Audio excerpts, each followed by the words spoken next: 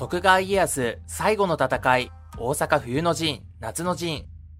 近年、江戸時代に作られた軍記物などで描かれた通説が見直され、同時代の記録に基づいた大阪の陣に関する新たな見解が発表されています。前回の動画では、その中でも特に注目される5つの新説を紹介しました。大阪の陣特集2回目の今回は、圧倒的に不利な豊臣家はなぜ徳川と戦ったのか、豊臣家滅亡につながる秀頼の2つの判断ミスとはなど、完全解説大阪の陣をテーマに、前回解説しきれなかった豊臣方の動きと大阪冬の陣、夏の陣の主な戦いについて解説していきたいと思います。それでは早速見ていきましょう。最初は、なぜ豊臣家は徳川家との対決の道を選んだのか、その疑問を紐解きましょう。豊臣家を滅ぼしたかったのは、徳川秀忠で解説した通り、関ヶ原合戦後、徳川家と豊臣家は基本的に協調関係にありました。この協調関係の架け橋となっていたのが片桐勝元です。関ヶ原合戦後、勝元は豊臣家の稼働となり、さらに徳川家との取り次ぎを務めます。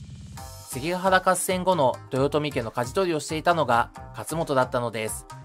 ところが、秀頼が成長するにつれ、木村重成など、秀頼の側近が豊臣家の中で台頭し始めます。秀頼の側近たちは、徳川協調路線を敷く勝本を排除すれば、秀頼自身が豊臣家の全権を握り、自分たちの発言力が上がることを期待していたのです。このように、秀頼が成長するにつれ、秀頼と同世代の側近が徳川との協調関係を見直すことで、自分たちの豊臣家における地位を高めようと考えていました。このような情勢の中、大阪の陣が始まる1年以上も前から、豊臣家は浪人の召し抱えを始めます。徳川家との対決を意識したものだったかは不明ですが、豊臣家の権威を高めようとしたことは間違いないでしょう。そして1614年、宝光寺証明事件が起こります。従来は家康の言いがかりとされてきましたが、近年の研究では問題視された国家暗号、君臣崩落の文言は、当時の習俗と照らし合わせても不自然であり、考案した僧侶の軽率とする説が有力です。家康はこの頃、豊臣家を滅ぼすところまでは考えていなかったものの、従来曖昧だった徳川家と豊臣家の序列をはっきりさせる必要は感じており、さらに豊臣家による浪人の召し抱えを問題視していました。そこで家康は明らかに豊臣家に落ち度があった宝光寺の証明を利用して、両家の序列をはっきりさせようとしたのです。取り次ぎの片桐勝元は、家康のいる駿府に赴き、弁明を試みますが、家康から事件を解決するための三条件のいずれかを秀頼が飲むように提示されます。これを飲まなければ、徳川との合戦は避けられないとし、何としても合戦を避けたい勝元は、秀頼と茶々に条件のいずれかを飲むように強く迫りますが、徳川の下にはつけないとして、秀頼も茶々も拒否するのです。さらに豊臣家では、このような条件を持ち帰った勝元は、徳川に内通したと疑惑をかけられ、暗殺計画が持ち上がります。その中心にいたのが、大野春長です。さらにこの計画に、秀頼側近も多く参加していたといいます。大野春長は勝本と同じく、徳川協調路線の一人でしたが、勝本に代わって、豊臣家の実権を握る契機と見て、勝本排除に動いたのです。暗殺計画は未然に防がれましたが、結局、秀頼茶々の意向で、片桐勝元は大阪城を退去しました。当時、取り次ぎの追放は、交渉の決裂を意味するため、徳川家康秀忠は、豊臣家の武力討伐を決意。各地の大名に軍勢を召集し、大阪城を包囲しました。このように豊臣家は、秀頼の政治に伴って内部対立が激化し、大阪の陣につながってしまうのです。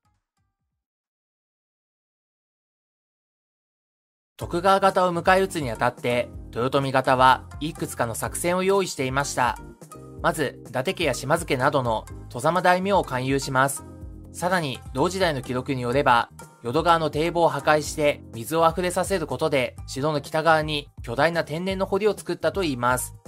近世の軍記物では、真田信繁、後藤元次ら浪人衆は、京都方面に出撃して徳川方を撃退することを主張したものの、豊臣家上層部は、同情策という愚策を選択してしまったとされます。しかし同時代の記録に浪人衆の出撃論は見られず、豊臣家は初めから籠城策を選択し、準備を進めていたのです。ところが、開戦前から豊臣方には様々な誤算が生じます。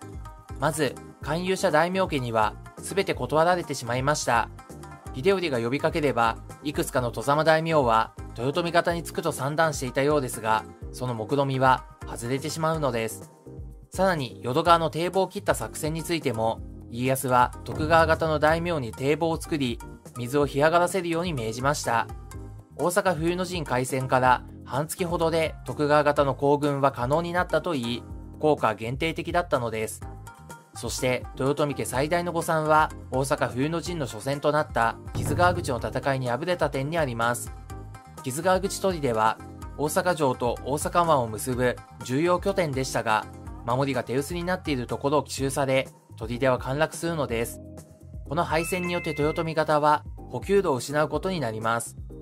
木津川口の戦いの翌日の11月18日、家康は早速講和を提案しました。前回の動画で紹介した通り、同時代の記録を見る限り、家康は豊臣家を滅ぼすことを望んでおらず、大阪出陣の目的も徳川と豊臣の序列をはっきりさせることにありました。豊臣方はこの講和勧告を断固拒否しますが、その後もいくつもの砦が陥落しました。そのため12月3日、豊臣方の大野春長と織田浦草が死者となり、条件次第で講和に応じる意向を伝えるのです。当然春長や浦草の独断で死者を派遣することはできませんから、茶々や秀頼の意向が反映されたと考えられます。この段階では豊臣家上層部のみが秘密裏に講和の可能性を模索し始めたのでしょう。そしてこの後、かの有名な真田丸の戦いが勃発するのです。真田丸は大阪城の南東に築かれた砦の一つです。12月4日、真田丸とその周辺を舞台に徳川方と豊臣方がぶつかりました。真田丸に突撃する徳川方の前田隊に対して、豊臣方の真田信繁隊は雨のような銃撃を浴びせ続け、前田隊をはじめ、徳川方は1000人以上の死者を出したといいます。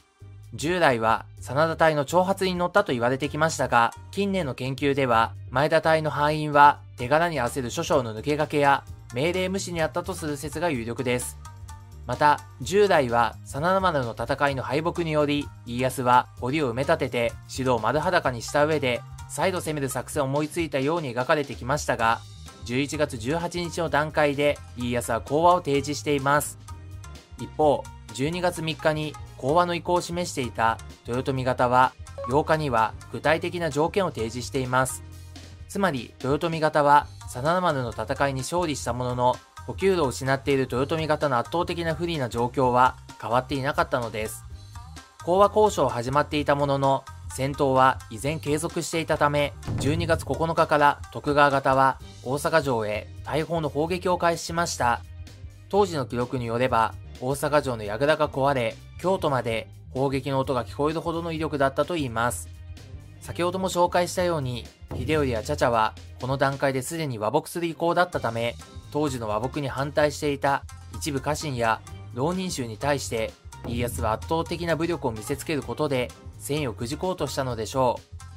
う。最終的に徳川方と豊臣方の講和は12月19日に画面で表示された内容で成立します。1に基づき大阪城の堀は埋め立てられました。家康の陰謀で埋め立てられたのではなく、徳川、豊臣双方の合意事項だったのです。これについても前回の動画で解説しています。さらに家康は浪人を赦免しますが、浪人を大阪城から退去させることを求めていたといいます。ところが、秀頼や茶々、大野春長などは、新たな浪人の召し抱えを拒否していましたが、春長の弟の春房、木村重成らは、浪人を優遇しており、実際に大阪城の浪人の数は増えていました。豊臣家は浪人の処遇をめぐり内部対立を起こしており、大野春長が暗殺されかけるなど、統制不能な状態となっていたのです。その結果、家康は講和の約束が果たされていないとして、浪人問題を対処するため、1、豊臣家は大阪城から退去して大和あるいは伊勢に国替え、2、浪人衆すべてを退去させて大阪に留まるのいずれかを選択するように迫ります。しかし秀頼は家康に使者を送り、いずれの条件も拒否する意向を伝えました。ここに家康は再選を決意、全国の大名に再び大阪に集結するように下旨するのです。京都に入った家康は再度秀頼に講和を持ちかけますが、これも秀頼は拒否しました。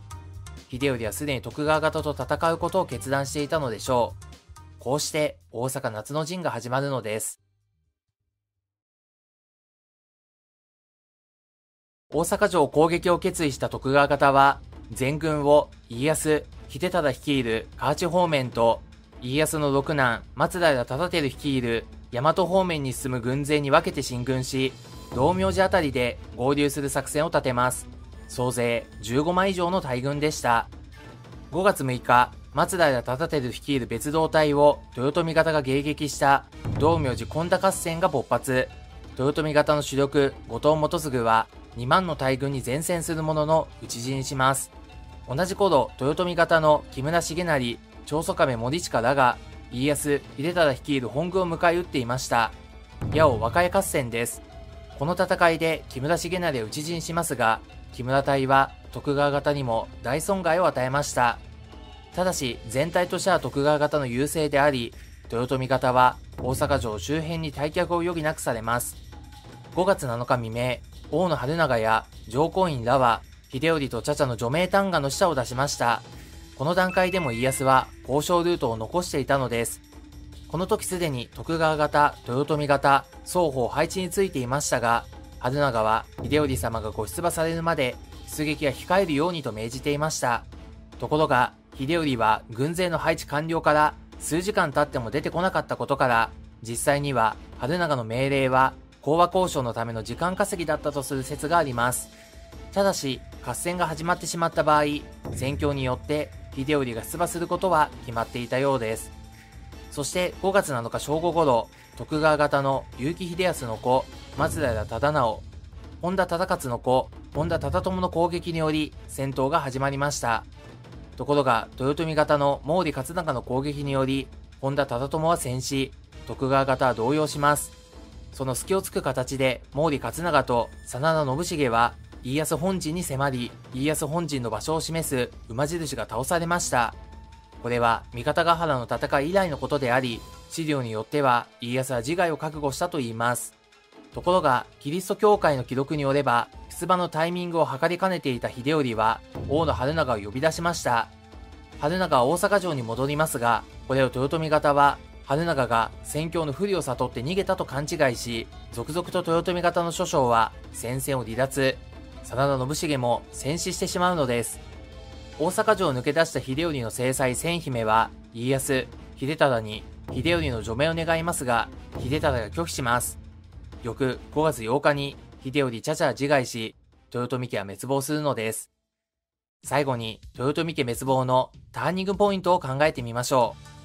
前回の動画で家康は、最後の最後まで豊臣家存続の道を残していたと解説しました。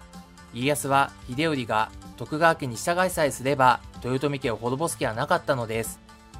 秀頼も当初は側近たちに押され徳川と対峙する道を選びますが大阪冬の陣の劣勢により徳川に従う道を選びます。ところが講和と前後して強硬派の家臣、浪人を統制できなくなり豊臣家は滅亡の道を進んでしまいました。このように考えると1613年から浪人書を召し抱えてしまったこと1614年に豊臣家の大黒柱だった片桐勝元を手放してしまったことが、秀頼にとっては痛恨の判断ミスと言えそうです。経験豊富な勝元なしに徳川と渡り歩き、血気盛んな浪人衆をコントロールすることは、まだ若かった秀頼には厳しかったのかもしれません。どうする家康では、豊臣と徳川の駆け引き、そして大阪夏の陣がどのように描かれるのか楽しみですね。今回の主な参考文献はこちらです。すべて動画の概要欄でコメントをつけて紹介していますので、興味のある方はご覧いただければと思います。次回のライブ配信の情報はこちらです。今後も日本サロンでは、大河ドラマの時代解説を中心に、最新研究の成果をできる限りわかりやすく、丁寧に解説していきます。コメントや高評価、そしてチャンネル登録をしていただけると嬉しいです。スーパーサンクスもとても励みになります。それでは次回の動画でまたお会いしましょう。最後までご覧いただき、ありがとうございました。